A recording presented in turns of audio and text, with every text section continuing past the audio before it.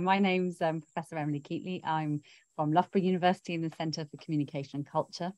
Um, and I've been doing research for longer than I care to remember in um, at the intersection of media and communications research and memory studies research. And um, so I'm coming coming at this from a from a media and communications background. What I'm going to talk to you today about is I, I want to just say a little bit about post-colonial memory studies, what we might might think uh, think of it as, uh, and why we should care.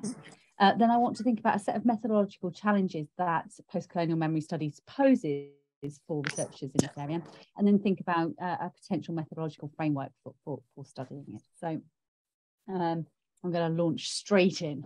So memory studies has, um, in recent years, it's become much more sensitive to transcultural features of contemporary remembering, certainly in, in, in the West, but also um, uh, in, in other parts of the world.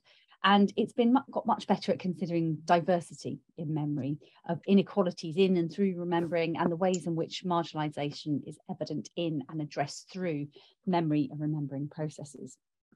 However, attention to what we might think of as a distinctively post-colonial memory, i.e. memory that's indivisible from the politics and power structures of colonialism and decolonial processes, has largely been the pre preserve of post-colonial studies, somewhat unsurprisingly. So memory studies has been kind of um, um, on the sidelines, if, if you like, uh, in relation to some of these questions. So Michael Rothberg's written about this, you know, quite quite a number of years ago now, that, that actually there's been this kind of um, separation between post-colonial studies and memory studies. So I'm sort of starting this presentation from a position which argues for drawing together post-colonial studies central focus on the production of memories in and through the power structures of colonial post-colonialism and the sensitivity of memory studies to the practices and processes of doing remembering across and between different national contexts and cultures. So the explicit aim we might think of post-colonial memory studies as having is to understand this relationship between memory as process and memory as product after colonialism and to uncover or or or we might think of as during colonialism different forms of colonialism has structured not only what can be remembered in contemporary social life but also how and with what resources and to what ends. And obviously for today's purposes I, I, don't want to address the conceptual and theoretical questions that underpin this. I want to think about the empirical dimensions of these um, issues. So this is, this is a methodological question as well as a conceptual or a theoretical one. So understanding the contemporary conditions and consequences of remembering uh, the colonial past requires researching post-colonial remembering as a lived experience, contemporarily and historically situated, comprised of sets of practices, of intersectional, always emergent and future oriented. So we need to think about what what we need to do i guess in the first instance. So empirical research on remembering practices as embedded in post-colonial power relations is essential for a number of reasons. It's essential if we're going to understand the dynamic relationship between memory as product and process as they're enacted in and through colonial and post-colonial power relations if we're going to understand the complex positioning and intersectional identities of post-colonial subjects and the ways in which post-colonial relations of power are negotiated, reproduced, and challenged through remembering processes. So we've been trying to grapple with some of these uh, questions in an empirical um, setting um, by doing some empirical research in this project called Migrant Mem Memory and Postcolonial Imagination Project. And it's a five-year project. It's actually going to be a six and a half year project now because we have an extension, uh, funded by the Keem Trust. And we're looking at cultural memories of partition and decolonisation in uh, South Asian diaspora in the UK, and we use cultural participatory methods, and it's a split site ethnography. So we're working well, with, with communities in the Midlands and in London. So what are the methodological challenges that we've encountered? Well, the first, the first challenge is, is about, about pain uh, and, and the painful nature of, of post-colonial remembering. This is a practical question, it's an ethical one. So the first of these challenges derives from the often inherited nature of memories of colonialism and the complex intergenerational dynamic in play in post-colonial conditions. Intergener intergenerational communication of the past is always a central part of the complex and multi-layered ways in which remembering is socially experienced and practiced and performed across time and space in different social categories. And we've written about, I've, I've, written about this quite a lot with my colleague Mike Pickering. But the radical shifts and ruptures that resulted from decolonizing processes make these generational differences in mnemonic inheritances even more pronounced and challenging. Radical differences in circumstances between generations make the communication of memory particularly difficult, as inherited accounts are often those of rupture and change rather than succession and continuity, making their integration into mnemonic stories and narratives of those who inherit them particularly complex. Okay, so the attention to the facticity of memory. So when we when we talk about truth in memory, this often um, elides and decenters post-colonial subjects from uncomfortable and painful narratives in which they're implicated, particularly those which challenge contemporary identity. And so this, there's this tension between how do you inherit painful pasts and painful memories? How do you articulate those?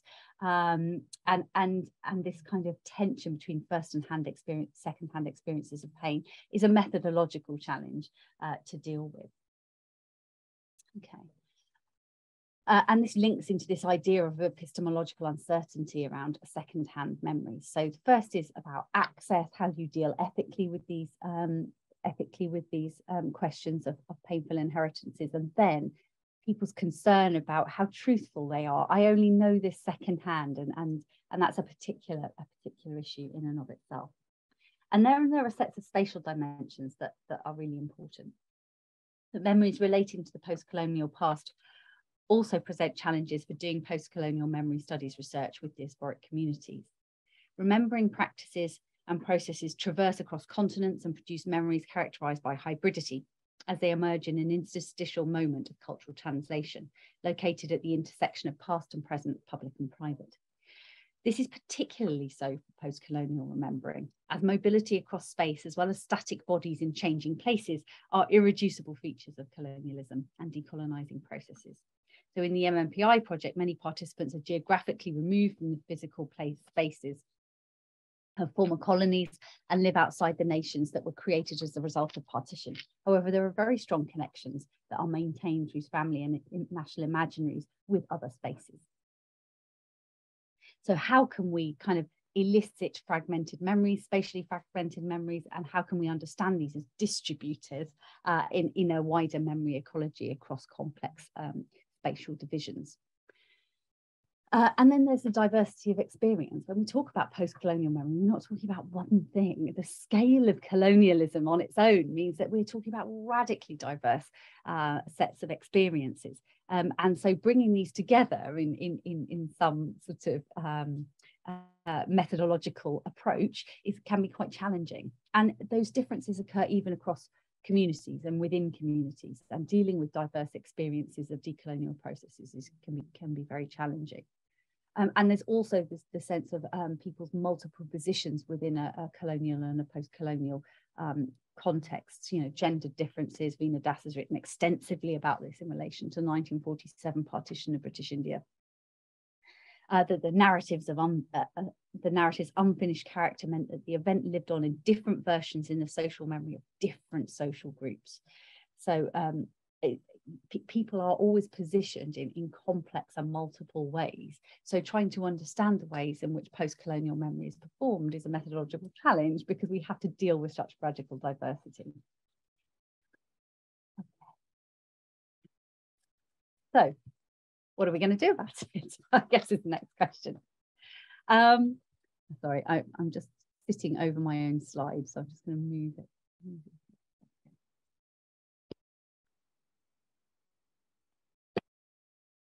So, oh, am I missing a slide? No, just skip past one. Um, I think there are four things that I would say. This isn't perhaps an integrated methodological approach, but it's a set of methodological principles I think that we might want to think about. The first is dealing with this issue of diversity and complexity, the last thing that I mentioned. How do we deal with that um, in, our, um, in our empirical work? I would suggest that one way we have been dealing with this in the MMPI project is by integrating collaboration and community engagement at all levels of the research. I think it's very difficult coming in as an outsider to understand um, how different positionings impact on people's mnemonic experience. And working with groups that are already embedded with, within communities is absolutely essential to understand that ecology before you even start. So dealing with those complex um, complex um, multiple positionings in research design means that partnerships, community collaboration and community engagement in research, the research design phase, in the data collection phase and also in the analysis phase is absolutely essential in order to be able to make sense of, um, of, of the diversity that we're talking about.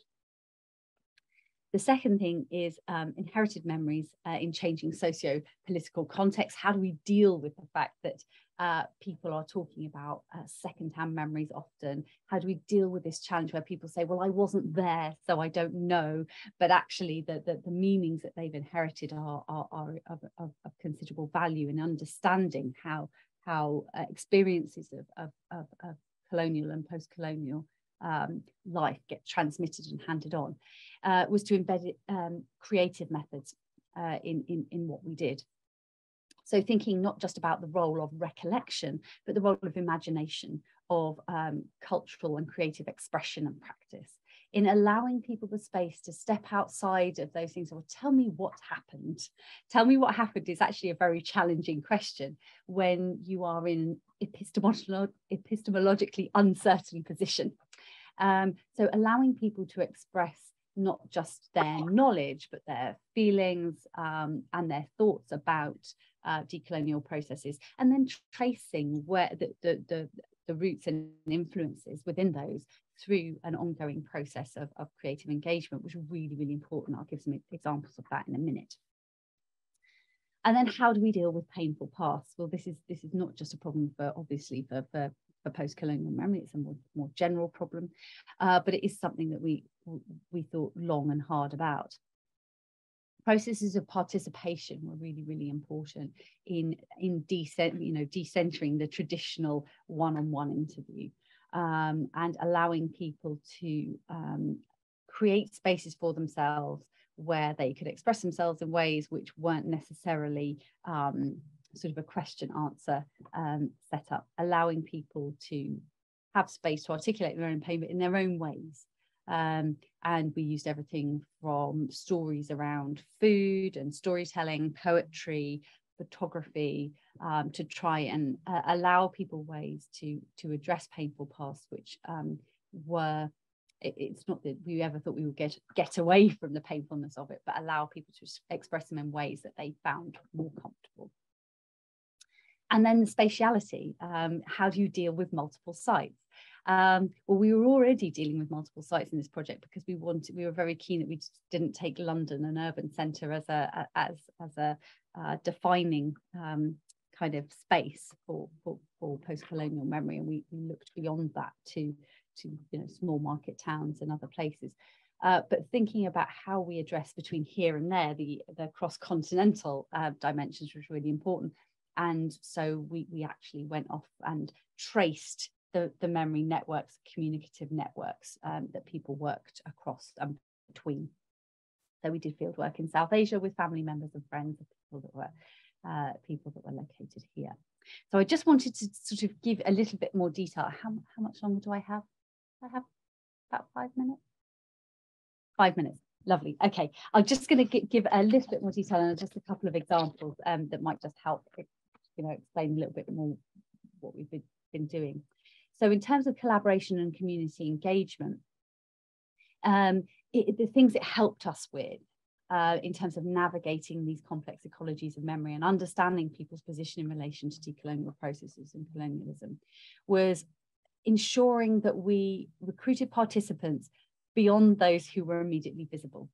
Uh, some people in the communities that we were working with were very visible, were very accessible, uh, and were very comfortable talking. It was abundantly clear that there were groups within uh, within the community or in the fringes of the community um, who, who were less accessible, less well heard, uh, and working with partners, we were able to really think through how we access different parts of the community, which we felt was essential. It also meant that we could develop safe and culturally appropriate data collection activities. That actually some things just weren't appropriate with some sections uh, of the community and, um, and we were we, we were able to discuss these and talk through some of the challenges with people who really understood the the the, um, the context that we were working in and that was that was fabulous. Um, and it meant that through the analytical process, we were able to talk through what we were finding and ensure that in that process of interpreting qualitative data, that we weren't homogenizing experiences, we, we were remaining alive to differences. And the interpretations that we were making of those, the inferences that we were drawing were, were appropriate. And, and that's no, nowhere is that more important than particularly as you know my own positionality as a researcher as a white middle class woman coming into largely working class uh, brown communities um, and and obviously you know belonging to um, that that historical trajectory of, of, colonization in a particular way it was absolutely essential that we that we made sure we um, address that fully and properly. Um, and these are just some of the people that we worked with. Um, in terms of creativity um, it, it was it was about opening up the role of imagination in data collection to think about memory as involving co-dependent, co-creative ways of knowing, um, to allow multiple tracks for people to progress down and to find ways of expressing themselves, which might be um, not through traditional forms of language. And we weren't imposing kind of traditional interviews on people who didn't want them. And it also allowed us to deal with the fragmentary and unstable nature of post-colonial memories, that there were big gaps and there were kind of very um, in, in, intense or um, symbolic moments, but they didn't necessarily conform to a narrative structure as we would understand a life story or a, uh, or a historical account. And using non-narrative cultural forms of communication allowed us to respect the integrity of the of those memories as, as they were as they were um, articulated. So here's just a few pictures from some of the activities that we did. Uh, some photo workshops, uh, some cooking workshops, um, uh, and various different things. And then the question of managing pain. There were the ethical questions where we distinguished between, between trauma and painful pasts. Um, we clear where you know where where it's appropriate to talk about one or the other and to develop ways of eliciting people's accounts um, without amplifying their pain. And that's really, really hard. And we didn't always get it right. So finding ways for non-narrative articulation that people found comfortable, developing collective participatory settings where people wanted to do that, and also decentering the researcher. You know, this idea of the, the intervening person who questions all the time, allowing people um, the space to articulate themselves in ways they felt comfortable was really important. And there was cooking was really, really crucial to that. Uh, I'm not going to go through that because I'm uh, attending, uh, running out of time. And then I'll just give you the pictures actually about the spatiality because I've already mentioned the international fieldwork. You know, this is just some of the pictures um, from uh, the South Asian fieldwork, uh, interviewing friends and relations of, of participants uh, in the UK and thinking about how memories were transmitted across these two different settings, thinking about the different ways in which memories articulated in different locations and, and through different kinds of networks and the role of media and communications technologies in doing that. Um, and yeah, we, we, we, visited the different key sites um, in Bangladesh in this instance, Dhaka and, and, and Sylhet. Uh, and our Pakistan fieldwork was unfortunately disrupted by COVID. So that was all done remotely. So less exciting. And then just a few conclusions postcolonial memory studies has particular methodological challenges which actually just go beyond the issue of reflexivity of the position of the researcher, which is obviously important, but there are other questions to answer. Um, and, and those four things that I talked about, community collaboration, using creativity and imagination um, in, in um, data collection, thinking about ways that we manage pain in research interactions and accounting for spatiality and mobility are all four things uh, are essential to, to, to addressing the ways in which post-colonial memory is articulated and how it fits in with this kind of uh, understanding of post-colonial power structures. That's it. My name is Abigail and um, I have been working in the field of learning disability and learning for quite a few years uh, and autism. And uh, I'm going to be talking today about um, my current doctoral project, um, which uh, is based at the University of Southampton. I'm a member of the Centre for Research and Inclusion there. Uh, and uh, I'll be using the a lot of um, pictures and um, the stills are all taken from the video that I've used in my research. So that starts from this um, uh, introductory slide showing one of my participants at work. Um, so I'm going to be talking about using video to revisit experience uh, and to stimulate discussion, dialogue, uh, exchanges of views uh, in, in qualitative research. So a quick outline, I'm going to talk about uh, exploring experience in qualitative research. I'm going to talk about experience versus memory. And um, uh, then I'll go on to my research project and why I chose the methods, the rationale for my methods. Then it'll be quite kind of a messy account of how it actually worked in practice, uh, how things changed, um, and what I think I've learned from that experience. So, qualitative research, we're always uh, or very often talking about uh, exploring people's personal experiences and, and seeking cultural understanding through that. So, we take that perspective that reality is subjective. So, you can only know it as people tell you about their experiences of it so that involves methodologically um, engaging with people's accounts of experience, often through interview. And the question, the problem that I have wrestled with a lot is, is how you make that engagement, um, you know, lively, interesting, uh, meaningful, and and not superficial. And uh, I have, in a way, followed this dialogic turn in social science of using dialogue and communication for uh, a way as a way to understand um, reality. And in particular, it's been about videos supporting that dialogue. dialogue. So I want to start by um, talking for a moment about Kahneman's view of experience versus memory. Uh, and I'm doing that partly to undermine it.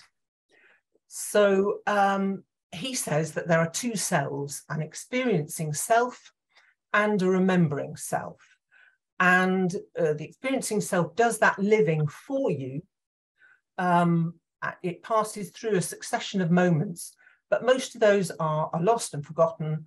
Uh, and all you're left with is the remembering self, um, which is a, a summary story about your understanding of the experience.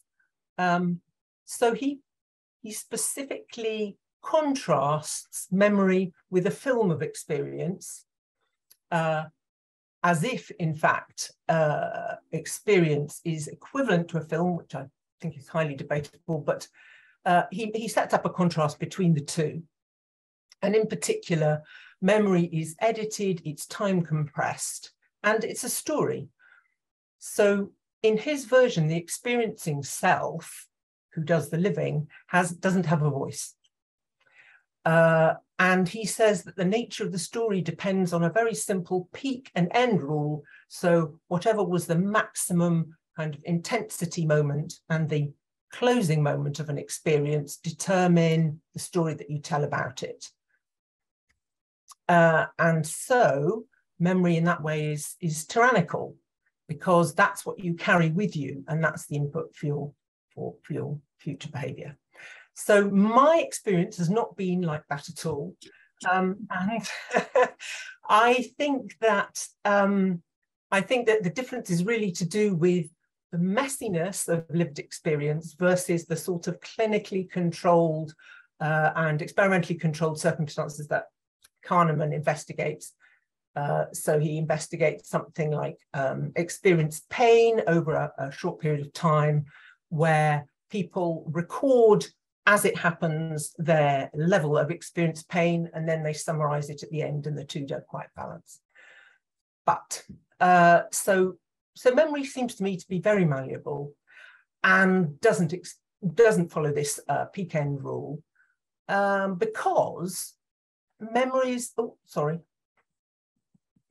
memories are subject to bias. Uh, so the versioning of what you remember and how you remember it according to what matters at the particular time of remembering or time of asking. Uh, so, for example, a very simple thing like a mood congruent bias where your mood at the time of remembering um, selects uh, how you remember. And I think this is important methodologically, and it's something that I think I've kind of used and relied on in, in, in the research. So the starting point was, uh, the methodological starting point was um, video stimulated recall, reflection, and uh, dialogue using what Mail has written about that, uh, which I've kind of summarized here uh, in my in some of my own words and some of hers. it's a retrospective think aloud interview technique where you allow the interviewee to re-experience a film situation after the event, perhaps immediately after, or perhaps some time after. Uh, and it, it, may be useful to make accessible things that are, are difficult to see and know uh, in the moment. Uh, it combines data about participants' behaviour, what they actually did at that moment, with the opportunity to think about uh, what they were experiencing and examine the thinking that, that came with it. And um, in this, in this uh, version, the interview material is the data that goes forward for analysis. So my project uh, title here was about uh, what young people with intellectual and developmental disabilities can be and do, their capabilities. And it's about work, um, learning, and social participation. So just summarize the context here because some of the um, videos that I'm going to show will, will kind of draw on that context. And I'm saying that at the end of schooling, when people with intellectual disability can't get into uh, employment, that that's a kind of uh, a deep social, spatial, and experiential divide in their lives um, between people who are in the mode of employment and the time that that dominates and the processes and experiences that it provides and the people who are cut out of it. And amongst other things, it leads to a lack of means to develop as an adult, to develop skills and, and social connections and, and to have agency. And so what I mean specifically about have agency is have any ability to influence those facts, to influence um, uh, what you're able to do and be. And the specific point is that um, uh, a policy uh, has changed, a relevant policy has changed to make it possible for eligible people to employ a personal assistant who they choose and they uh, brief and um, work with, and that this might um, increase the possibility for them to work um, and the social participation and the learning that comes with that.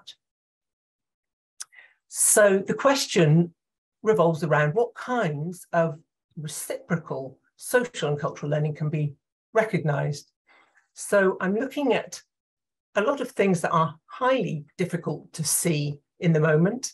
Um, I'm looking at uh, social and cultural learning. So that is learning that people are not really aware of, their, their um, absorption from their environment and from their interactions, and how those interactions also provide learning for the partners of the interactions, for the people that they work uh, with. So there is quite a knotty um, methods challenge in looking for something that's thought to be very difficult to see, under recognized, uh, and, doing where the person with the intellectual disability is the kind of key uh, informant. And so uh, uh, the methods have to be adapted to give them agency, if you like. So there's an added role to the sort of VSRRD idea uh, in this context. And I envisaged this at the beginning in these sorts of terms, that it would support collaborating with, with people, um, reliving a shared experience where I had lived through it in the first instance and they had, and we could um, relate to each other over that.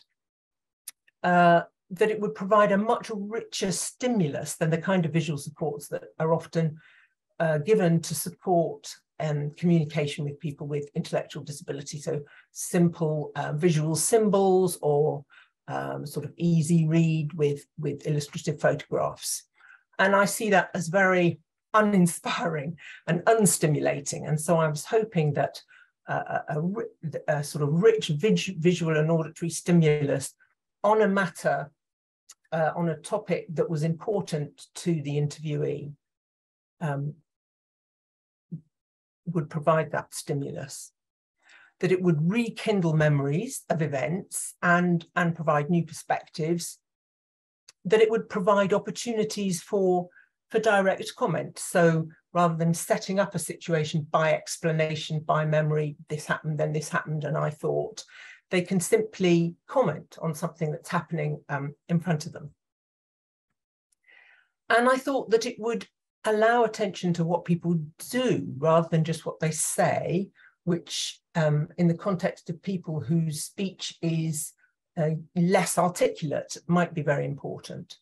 But I also thought that it might support my own memory because I'm living through um, complex, fast moving events and um, paying attention to multiple things. And it might help me to sort through those. And I realized that I put here a picture of the library uh, job, which was the least fast moving and eventful of all of them. But there you go.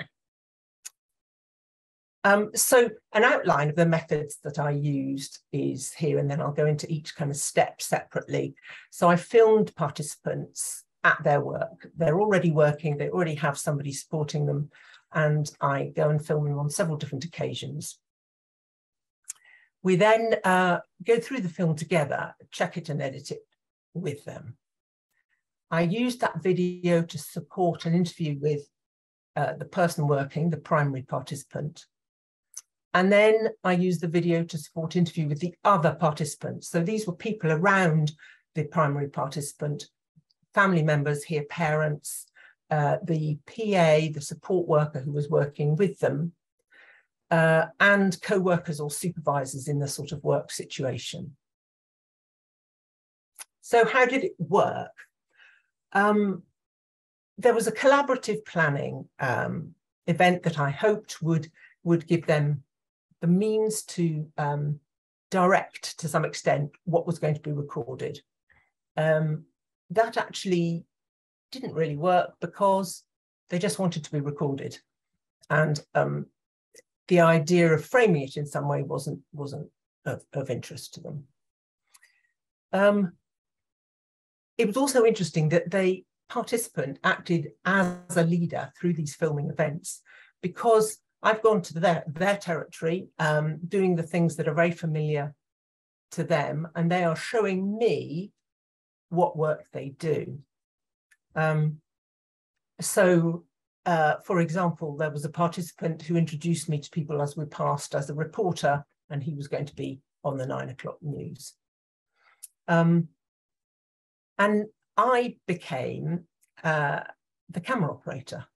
So, following and recording in a very opportunistic way. So, in the literature about using video methods, um, there are a lot of caveats about the power of the researcher and the power of the kind of framing of video. And I have to say that in this case, um, that was absolutely not the case. It was a question of being given a, a, slot, seizing the slot, filming everything, and then dealing with it afterwards. The filming itself involved a really sustained engagement with the participants, and there was um, lots of, of activity and um, a certain amount of talking. And I'm going to show a clip about that in one minute. But first of all, I'll just talk about the permissions um, from a practical point of view, it was extremely difficult to set up. There were coronavirus impacts, there were delays, I had to get permission from employers um, and from uh, deal with the problem of members of the public appearing. So this is a short clip from uh, showing a participant. He's on the edge of a playing field in his rural town and he's a self-appointed sort of, sort of community litter picker. And it's a job that he sees himself as a sort of ambassador uh, and um, uh, has quite a high profile in the community for doing this. And uh, this is just a clip from video. Right.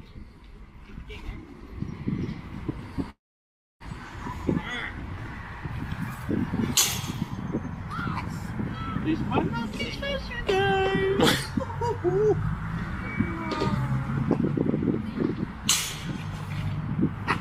No! Amazing. So he found, you probably can't quite see, he found a 20 pound note. Um, but to me, this short clip, um, it tells a lot about the way he works and his attitude towards his work. He, he, he's incredibly thorough, he's very um, conscientious. Um, but there's also a whole lot about the lack of um, the lack of content when transcribing to words. So um, I have some uh, parts of, of, video content where there are no words, but there's still uh, a lot to be said, a lot of interpretation that can be made. And this is an example of of how the kind of embodiedness of experience and the sort of affective um, and sensory aspects are, are missing. Oh, yeah. so next. So the edit and label um, procedure. Um, I intended for participants to have a, a, a, veto over what was taken forward.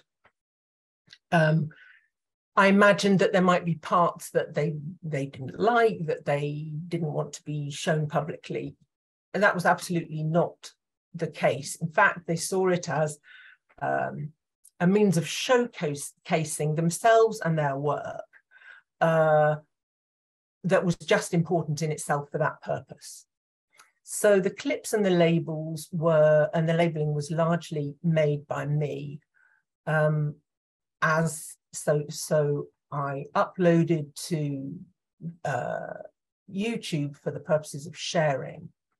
Uh, and here is um, a transcription of about five minutes, sorry, a, a, labeling of about five minutes of video. And um, I've labeled it according to the things that he says um,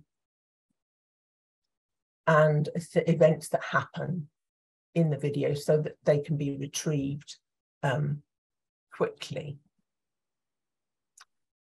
Um, so this kind of process is incredibly time intensive. So you're watching, um, there's a transcription process, there's loading, saving, um, uh, labeling and checking labels and timestamps and so on. The reviewing, remembering and discussing um, process so the video was really effective at engaging people's attention and, and, and interest quickly and establishing common ground, something that you've done together that you're going to talk about together. Um, choosing a clip uh, turned out to be a really efficient kind of non-verbal way of establishing what you were going to talk about that either party could either party could could do. Um, the behavioral responses were were strong. There was kind of sustained interest and engagement. And this illustration, sorry, the um, picture here shows a, a, participant with very high support needs who uh, has no speech at all. So uh, the process of showing him was demanding and I didn't know what was going to come out of it. Uh, but he he looked at the clips and his attention is is not always entirely under his own control. He definitely focused and paid attention to what was going on. He has one sign, which is this thumbs up, which he gave to the sight of himself working in, in, in the video clips. And also behaviorally, he he got up to leave the minute a particular clip finished and the screen went blank, and then he came back the minute the next one came. So there are no words, there is no transcription to this process, but it, it did tell you um, quite a lot. Uh, and there were practical and technical challenges here that were quite demanding. So I'm taking the equipment to people's homes onto their territory. The lighting conditions, the, all those sorts of things are very nearly completely out of my control. Um, so, uh, so that was tricky. Um, so I'm now going to show an example of the kind of, of um, record of work that participants saw as self-explanatory. It didn't really need any um, any gloss, and and my questions didn't really seem to them to to be needed effectively. Uh, so uh, this is um, a participant working in a community sort of um, zero waste type shop, a member cooperative. And he's the boy on the left and his personal assistant is on the right. And he's just learning to use the till.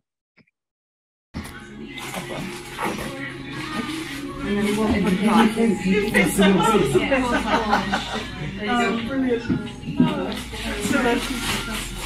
one point five, yeah? Not everything fine. Black humour is what gets. I know. Got to do it, There's another one. One the last one. So if we were in a room, I'd really like to ask what people think they can see in this clip of of him working. Um, but instead, I'll I'll just suggest some of the things that I think are there. You know, I think at the beginning it shows, you know, his focus and his engagement, his effort. Um, and uh, it, it, shows a kind of coordination between the two of them. Um, there's a lot of information about the context, which is important um, when discussing participatory learning, which is which is my um, my theme. Uh, and then I think that the end shows obviously it shows awareness of being filmed, but I think it also shows a kind of um, a kind of um, pride in his work that you know I did it.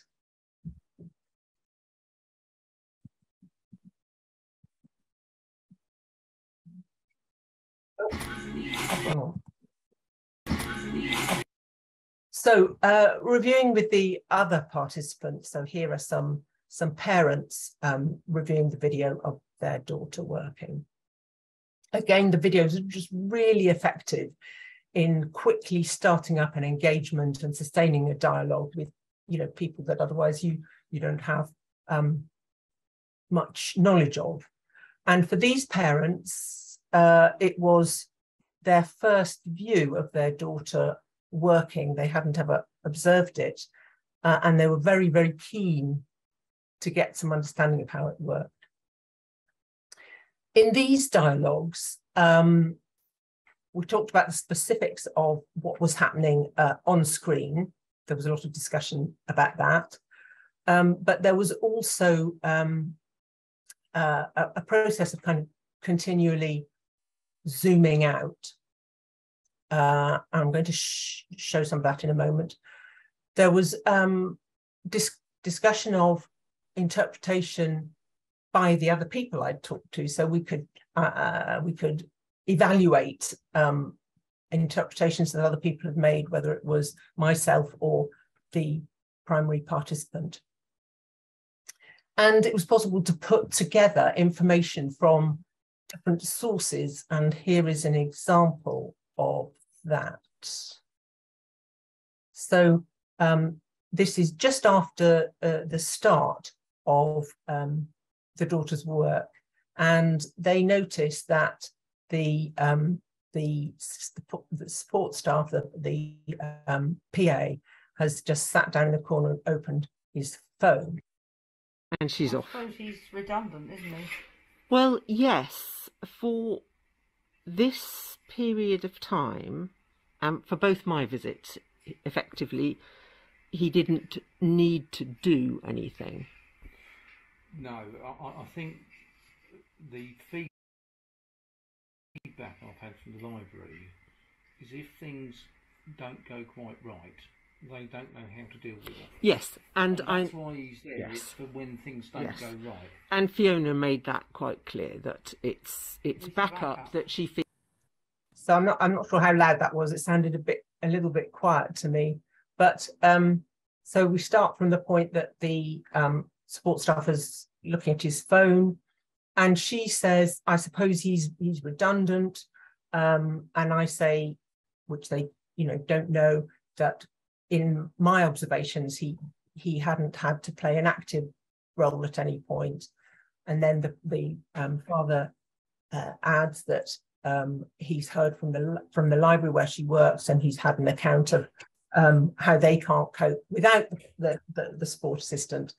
Um, uh, and I add the information that that the daughter, the participant herself, had had discussed this topic with me. So it was a lot of information from a lot of different sources that's all kind of resolve, revolves around the video. Um, this is um, a, a quick example of the zooming out process. So here, uh, this is a parent speaking again, and she has just discussed her daughter returning to work after lockdown. And um, um, I ask her, what difference does it make to her to be able to go back to work um, after after lockdown? I think in a world where she's so sort of looked after and guarded, really, mm. where we can't feel safe that she's crossing the road, Mm. or we can't feel safe that she'll, when we're out, she'll unlock the door to somebody she mm. shouldn't, Mm. or something like that. In that sort of environment that she's used to, I think it's freedom. Mm, mm. Yeah. So, in case that was too quiet as well, she says, um, in a world where we're so preoccupied with safeguarding, what it means to her is is freedom. Um, so, quick, my my my lessons learned. Uh, watching and discussing a video that is personally meaningful to the people that you're talking to revolves around their own interests and experience. It's um, sustains exchanges of information and um, sorry. Uh, and um, interpretation. It can help people to re-remember things like reinterpreting what, what what work used to be like before lockdown to after lockdown. Uh, the memory most benefiting from the record was actually mine. So it gives you a really kind of intensive resource that you can re-immerse yourself in um, to build your understanding of the participants and their worlds um, and their points of view. Um, and I found in particular that it it reminded me that experience is embodied and sensory and affective. And it's research traditions that lead us to focus on the remembering self, that the summary storytelling that happens, um, it, it happen, happens in words in our research methodology. Um, participants saw the, the, the film itself as evidence of what I was looking to examine. It's evidence of work, it was evidence of learning, it was evidence of participation, and it didn't need any kind of additional gloss from their point of view and I think effectively that, that that's right, and that the film itself is a, a, an important source of data for analysis, and it usefully enforces a different approach to analysis that I'm kind of still wrestling with. Um, and uh, video and dialogue can help to bring together those two selves that Kahneman saw as, as, as so separate, the experiencing and the remembering selves, um, and, and helps with that sort of versioning of, of uh, this, building a dialogue around different versions of events to decide what they might mean. So thank you, and that's it. My name is um, Deborah Madden, and I'm a cultural historian based at the University of Brighton. And uh, I'm also director for the Centre for Memory, Narrative and Histories. And I'm just going to pop a link into the chat because I always want to do a little plug for the centre. Uh, we're always very, you know, very keen to get sort of uh, people involved and particularly kind of PhD students. So please do check out the centre and uh, see if it might be of interest. And my work is predominantly shifting at the moment. I mean, my, my, kind of historical work has always been interested in the re relationship between kind of narrative life writings and cultural history, particularly in terms of um, cultural histories of medicine. Um, but currently my work is concerned with cultural politics of emotion and specifically grief, mourning practices, spontaneous sites of mourning, and the ways in which personal, individual, and collective expressions of grief can mobilize memories of the past. And um, thanks very much to Melanie um, for inviting me and to the other panelists. I've already learned so much from the two talks and seen sort of really interesting uh, points of connection. So today, um, oops, for some reason it doesn't want to move forward bear with me, I'm trying to get the slides to move. Um, okay. Ah, there we are. Um, so today I'm going to talk about an oral history and creative arts project that was undertaken collaboratively during the UK's first and second lockdowns. So the talk is a sort of retrospective, but it's also because the oral histories are still ongoing, it's it's kind of work in progress. It's a very dynamic um, project that's obviously based in the centre. And the people on the slide, these are the people that were involved and are involved in the project as it goes along. So although our project did predate COVID, um, we um, we also started to create um, curate oral histories from palliative care clinicians and staff working in care homes, um, primarily to capture and evaluate everyday subjective experiences and emotional responses to the pandemic. These oral histories, um, as I said, are still ongoing, and we're planning to kind of continue this work into its last phase um, following the UK um, COVID inquiry to gather responses to what emerges from that. Hmm. Um, although, um, so work here also drew on um, a pre-existing Heritage Lottery funded Centenary Arts and Oral History project, which was about the Spanish flu pandemic of 1918. Um, we used this um, historical pandemic as a heuristic device as part of the kind of ongoing project when capturing perspectives on the differing affective scales related to illness, dying, grief, and mourning during, during our own pandemic time. Working closely with Inroads Productions, um, a Brighton based theatre company, we utilised a range of creative practices, including creative writing, um, site responsive theatre as a mode of public history and critical pedagogy. Um, key themes um, from our combined oral histories, uh, the combined content of that became the basis of a scripted performance um, called Breaking the Silence. And that was written by um, a creative uh, called, um, her name is Sarah Clifford from Inroads. And it was performed to a live audience via Zoom in October of 2020. And this performance formed part of a collection of so-called COVID stories that were hosted by a, a Damn Cheek, again, a Brighton-based produ uh, production company.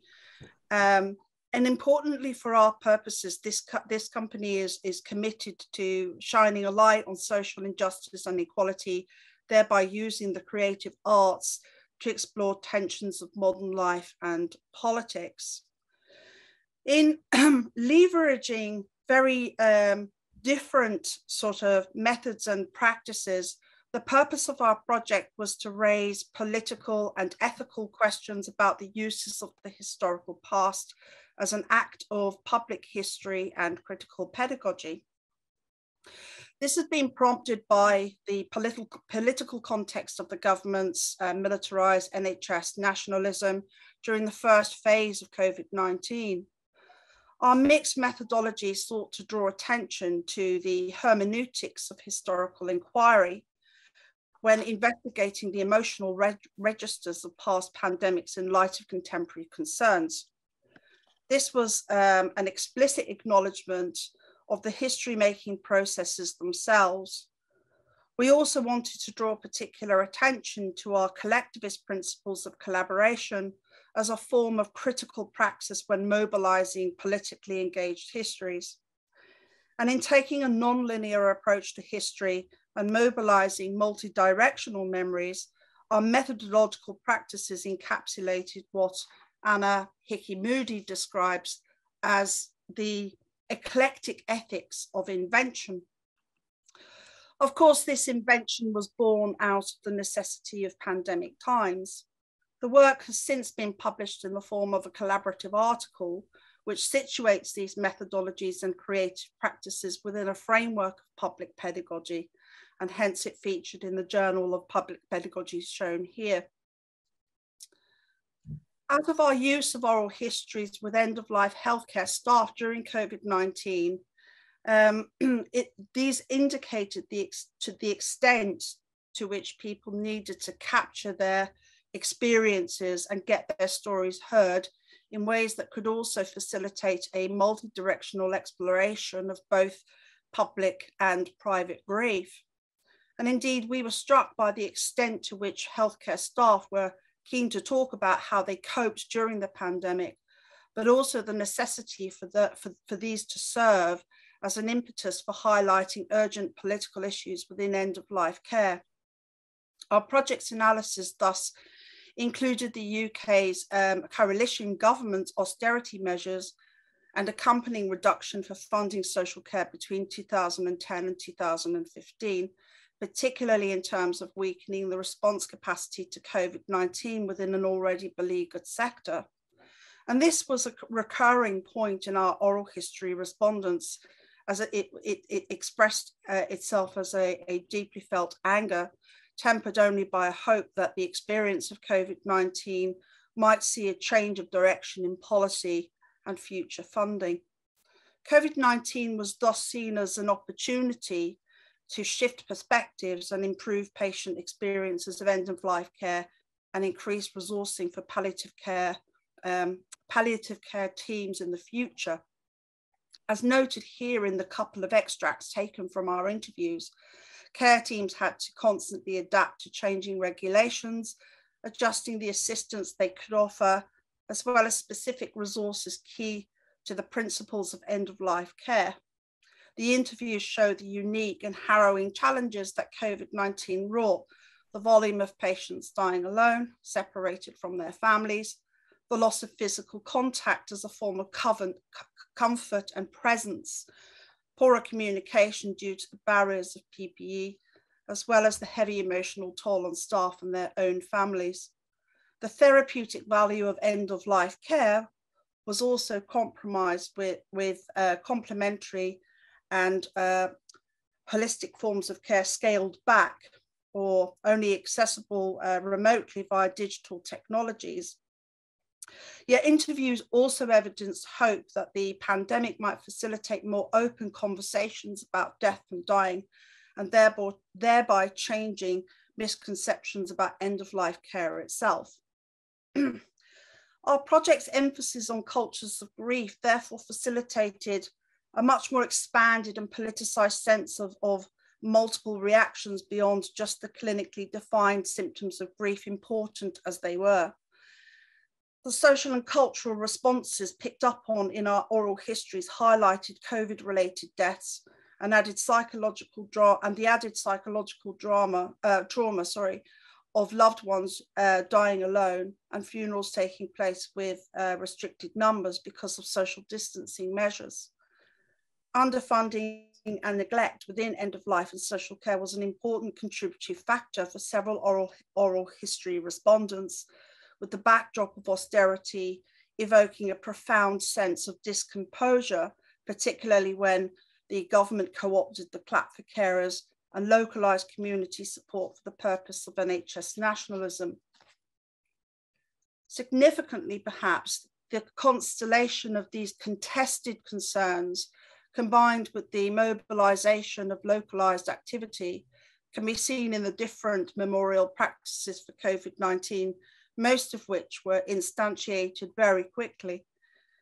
There were uh, there were the incorporation of COVID memorialisation into the Armistice Day for, for 2020, when the NHS Rainbow featured alongside the poppy, and where the British Legion's poppy appeal included images of soldiers who'd been deployed to build Nightingale, Nightingale hospitals around the UK. At grassroots level, of course, we saw a counter narrative in the unauthorized and spontaneous, somewhat spontaneous National COVID Memorial Wall on the South Bank, organized by bereaved families seeking justice at the government's mishandling of, COVID, of the COVID crisis. And this one year anniversary site of mourning became a political means with which to tackle injustice and the silences surrounding those deaths that weren't officially recorded.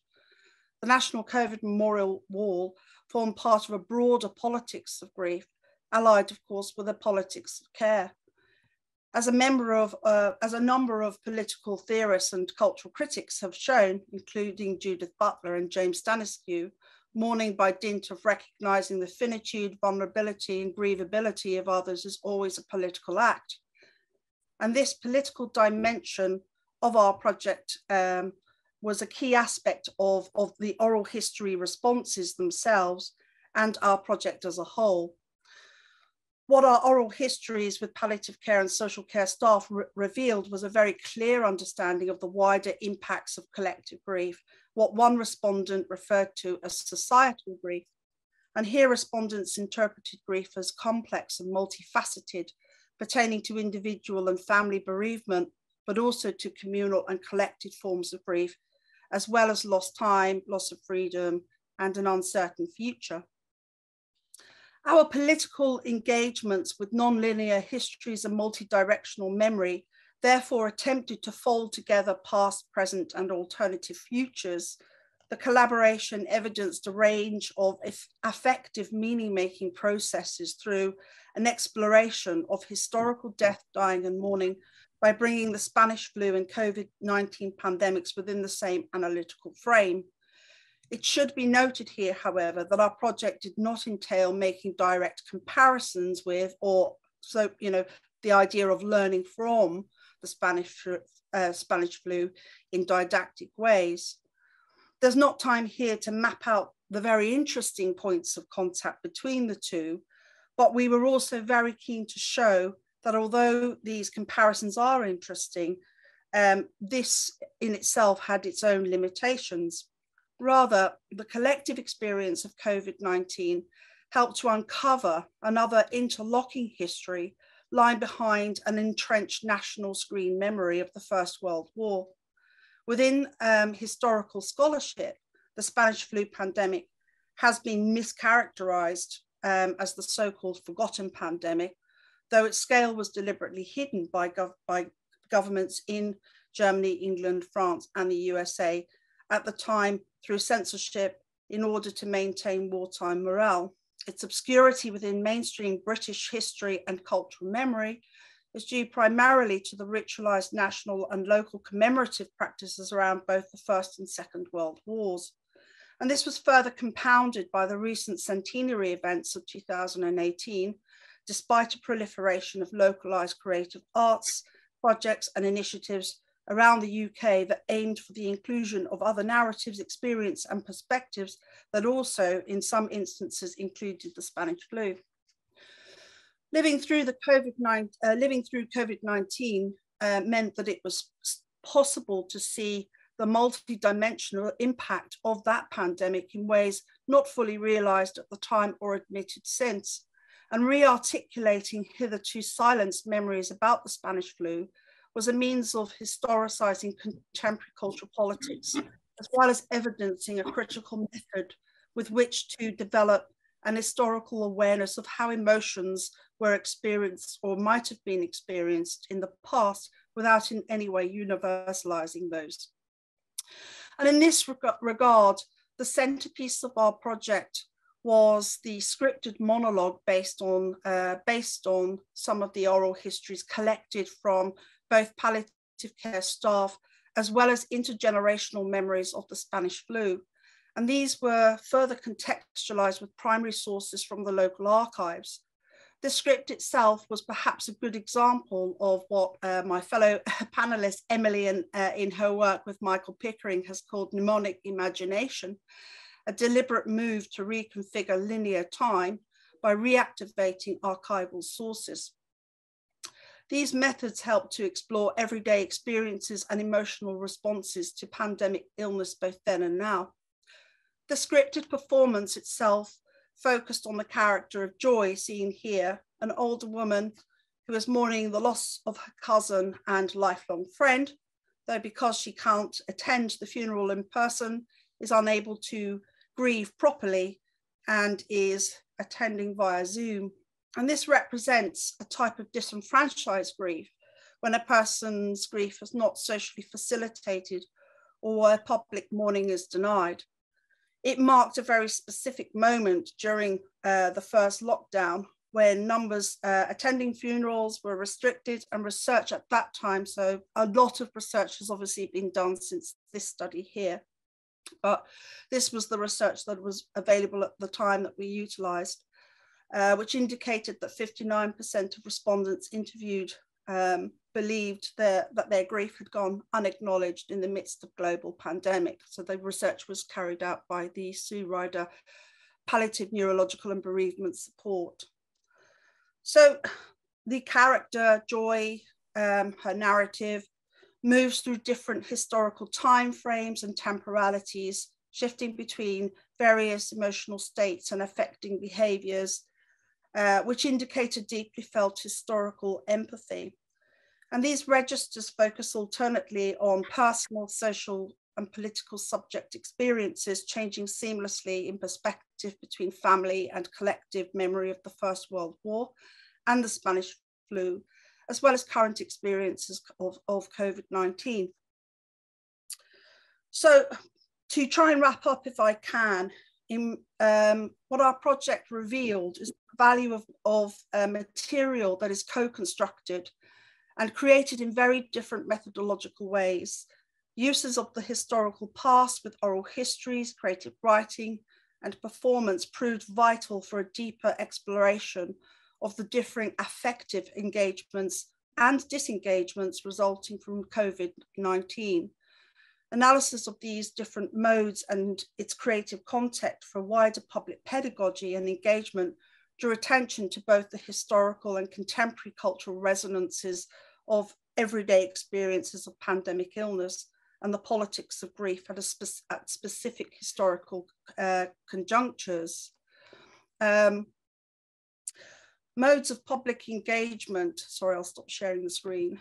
Um, Modes of public engagement have significant value in their own right as artistic interpretations, of course, but they also have enormous capacity to yield critical insights into, into the processes of creative practice as effective, relational, and embodied. And this pertains to the politics of history making and the formation of historical knowledge, how traces or atmospheres of the past invested with feeling might be reinterpreted and reactivated through oral histories and creative practice. Our research process evidences emotions that are historically situated and politically situated too. Yet reactivating the archive through embodied memory can, in this very process of effective encounter, help attune us to somatic and emotional re registers of the past, or at least an exploration of them. Further, to paraphrase Anna Hickey Moody, effect is often the way that art can speak. Artistic, experimental, and activist engagements and, and enactments of public pedagogy have the potential to create new ways of being, new ways of doing, new ways of feeling and knowing.